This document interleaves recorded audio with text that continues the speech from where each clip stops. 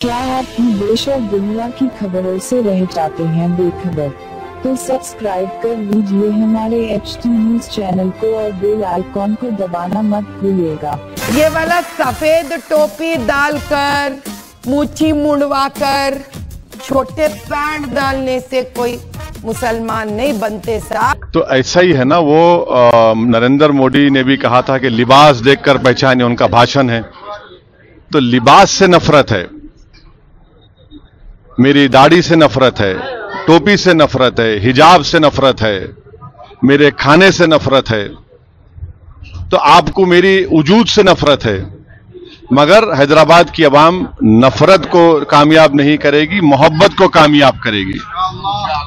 और जो लोग हमारी दाढ़ी के, हमारी टोपी के, हमारे हिजाब के, हमारी शनाख के, हमारे वजूद के खिलाफ हैं जमहूरी तरीके से उनको एक बदतरीन शिकस्त देगी इन कौन?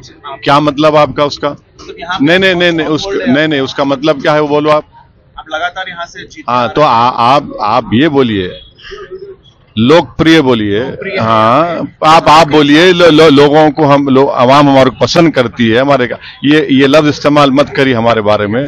हाँ थैंक यू ऑपोजिशन किसको मानते हैं सर आपके खिलाफ जो यहाँ देखिए इलेक्शन इलेक्शन जब आप लड़ते हैं तो आपके खिलाफ जो भी कैंडिडेट रहता आप उनके खिलाफ इलेक्शन लड़ते हैं और आपको जीतना है। तो जितने भी मद्दे मुकाबिल आएँगे हम उनके खिलाफ इलेक्शन लड़ेंगे। अब ज़ाहिर है मैदान में बीजेपी भी है कांग्रेस भी है बीआरएस भी है दीगर और छोटी बीजेपी और ये सब लोग आ जाएँगे।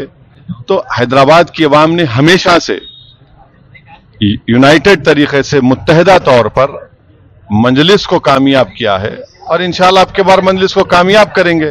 और जैसा कि अभी आ, आपने सवाल किया था कि हम आवाम से अपील कर रहे हैदराबाद की कि सी डबल ए कानून के खिलाफ आप वोट दीजिए। महँगाई के खिलाफ आप वोट दीजिए। नौजवान जो बेरोजगारी उसका मुकद्दर बन गया उनके रोज़गार नहीं मिला उसके खिलाफ वोट दीजिए। चीन हमारी ज़मीन पर कब्जा करके बैठा हुआ है उसके खिलाफ आप वोट दीजिए। तो ये मुद्दे रहेंगे। सर इसराइल को लेके